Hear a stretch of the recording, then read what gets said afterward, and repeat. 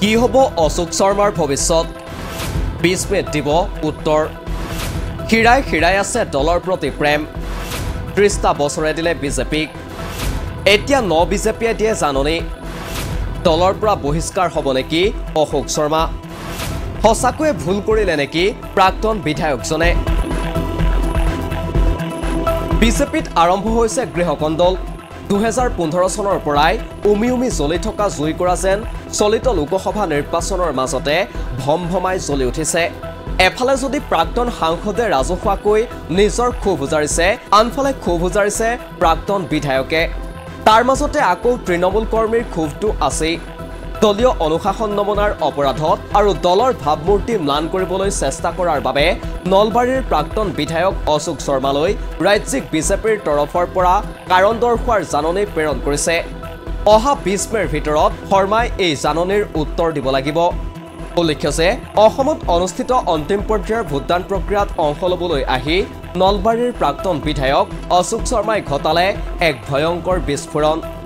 অশোক শৰ্মাই সাংবাদিকৰ আগত ভোটগ্ৰহণৰ দিনটোতেই মন্তব্য দি কয় যে ৰাজ্যত প্ৰতিমাহে হাজাৰ হাজাৰ কোটিৰ ধাৰ বাঢ়ি গৈছে। ধাৰ লৈ দেশ চলোৱাটো সফলতা বুলি ক'ব নোৱাৰে। দুই এখন ফ্লাইঅভাৰ নিৰ্মাণক প্ৰকৃত উন্নয়ন বুলি ক'ব নোৱাৰি। অৱশ্যে প্ৰাক্তন বিধায়ক অশোক শৰ্মাই ইয়াৰ আগতেও কেইবাবাৰো চৰকাৰৰ কাম কাজৰ বিৰোধিতা কৰি নিজৰ প্ৰতিক্ৰিয়া ব্যক্ত কৰি আহিছে। এটা পষেক পূৰ্বেও অশোক শৰ্মাই নিজৰ অসন্তুষ্টি ব্যক্ত কৰি কৈছিল যে তেওঁক বিচৰা নাই বাবে তেওঁ নলবাৰী বৰপেটা আদিত প্ৰচাৰ চলাবলৈ যোৱা নাই। ইয়াৰ আগতে তেওঁক ডিব্ৰুগড়ত বিচাৰিছিল আৰু তাত তেওঁ দলৰ হৈ কাম কৰি দিছিল।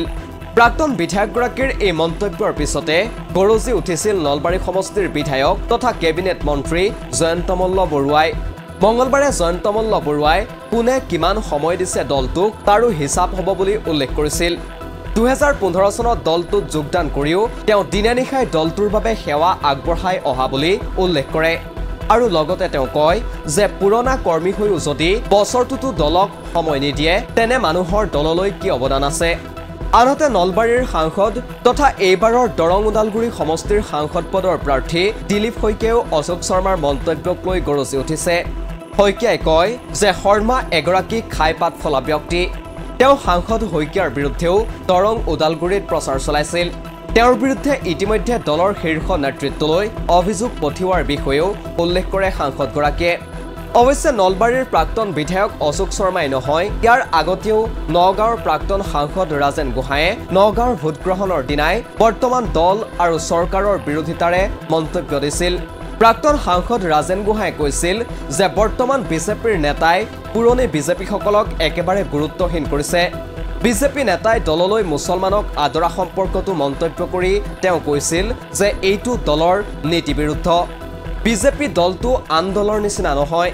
কাৰো নাম নোলোৱাকৈ তেওঁ সমালোচনা কৰি কৈছিল যে এতিয়াৰ বিজেপিত পুৰণি নীতি আদৰ্শ নাই যিটোক লৈ ক্ষোভিত হৈছে পুৰণা বিজেপিসকল। কিন্তু সেই বিষয়বোৰলৈ গুৰুত্ব নিদিয়ে বিজেপিয়ে। ৰাজেন গোহাঁৰ সেই মন্তব্যৰ পিছতে উগ্ৰমূৰ্তি ধৰিছিল মুখ্যমন্ত্ৰী ডক্টৰ হিমন্ত বিশ্ব শৰ্মাই। ডক্টৰ শৰ্মাই কৈছিল যে নিৰ্বাচনৰ দিনা প্ৰধানমন্ত্ৰী মোদীৰ বিৰুদ্ধে মন্তব্য দিয়াটো এক প্ৰকাৰ অপৰাধ। ইয়াৰ বিৰুদ্ধে দলৰ সভাপতিয়ে কঠোৰ ব্যৱস্থা ল'ব। ৰাজেন গোহাঁই অশোক শৰ্মাৰ দৰে নেতাৰ বিৰুদ্ধে মুখ্যমন্ত্ৰী আৰু তেওঁৰ সতীৰ্থ মন্ত্ৰী জয়ন্ত মল্ল বৰুৱাৰ কঠোৰ প্ৰতিক্ৰিয়াই এটা কথা স্পষ্ট কৰিছে যে তেওঁলোক এই পুৰণি নেতাসকলৰ মন্তব্যক লৈ প্ৰায় অস্বস্তিত পৰি আহিছে। ইফালে পুৰণি বিজেপি আৰু নতুন বিজেপিৰ মাজত যে সংঘাত তীব্ৰ ৰূপত বৃদ্ধি পাইছে সেই বিষয়টো পুনৰবাৰ প্ৰতিপন্ন হ'ল। উল্লেখ্য যে ন বিজেপি আৰু পুৰণি বিজেপিৰ সংঘাত নতুন নহয়। ইয়াৰ আগতেও দুয়োপক্ষৰ সংঘাত স্পষ্ট ৰূপত ধৰা পৰিছিল। কিন্তু এইবাৰ নিৰ্বাচনৰ মাজতে এই সংঘাত স্পষ্ট হোৱাত ই বিজেপিৰ কৰ্মী আৰু তেওঁলোকৰ সমৰ্থকৰ ভোটৰ ওপৰত প্ৰভাৱ যে পৰিব সেয়া নিশ্চিত। উল্লেখ্য যে দুয়োগৰাকী বিজেপি নেতা ক্ৰমে অশোক শৰ্মা আৰু ৰাজেন গোহাঁই যথেষ্ট পুৰণি। অসমত বিজেপিৰ কোনো ভেটি নথকাৰ দিনতেই চাৰিবাৰকৈ নগাঁৱৰ সাংসদ আছিল ৰাজেন গোহাঁই। ঠিক সেইদৰে দুহেজাৰ ছয় চনতেই অশোক শৰ্মাই নলবাৰীত বিজেপিৰ হৈ প্ৰতিদ্বন্দ্বিতা কৰিছিল। তেওঁ আৰ এছ এছৰ লগতো যথেষ্ট ঘনিষ্ঠ ব্যক্তি। দুহেজাৰ ছয় চনতেই বিজেপিৰ হৈ প্ৰতিদ্বন্দ্বিতা আগবঢ়োৱাৰ সময়ত নলবাৰীত বিজেপিৰ ভেটি সবল কৰি ল'বলগীয়া হৈছিল শৰ্মাই। অশোক শৰ্মাই ঊনৈছশ ছয়ান্নব্বৈ চনতে বিজেপিত যোগদান কৰিছিল। এক টেলিফোনিক বাৰ্তালাপত শৰ্মাই কয় আমি দলৰ কোনো গাঁথনি নাথাকোঁতেই দল কৰা মানুহ। আমি দলটো অসমত আগবঢ়াই নিয়াৰ মৰ্ম বেদনাখিনি জানো। মই ঊনৈছশ ছয়ান্নব্বৈ চনত দলটোত যোগদান কৰিছিলোঁ। ইয়াৰ আগতে মই সংঘত আছিলোঁ। এতিয়া কোনোবাই আমাক দলৰ বাবে বছৰটোত পাঁচদিন সময় দিয়া বুলি কয়। মোৰ বহুত ক'বলগীয়া আছে। বিছ তাৰিখে মই বহুত কথাই ক'ম। দলৰ বিৰুদ্ধে মন্তব্য দি ভুল কৰা বুলি ভবা নাই শৰ্মাই। শৰ্মাৰ মতে তেওঁ যিখিনি ক'বলগীয়া আছিল সেইখিনি তেওঁ কৈছে। তাৰ বাবে তেওঁ কোনো লবি বনাই আগবঢ়া নাই। News desk report the cross current.